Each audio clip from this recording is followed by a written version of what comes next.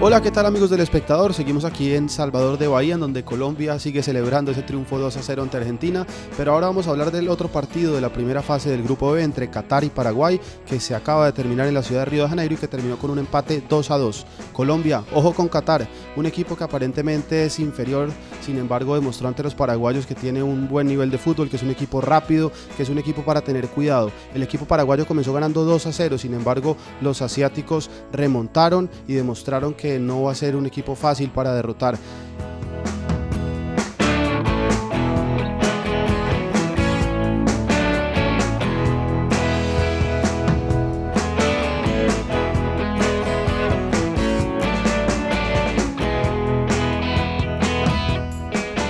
Comenzaron perdiendo desde el minuto 4 y a pesar de eso tuvieron la valentía para ir a buscar el empate y más adelante conseguir ese empate 2 a 2 que los deja con vida pensando en una posible clasificación a la segunda ronda. Colombia tendrá que tener precaución, ya se ganó ante Argentina, sin embargo como lo han dicho los jugadores pues después del partido no se ha ganado nada y ahora hay que pensar es en este rival, en un equipo catarí que fue campeón de la Copa de Asia y un equipo que, que es rápido y que le va a poner complicaciones a la defensa colombiana.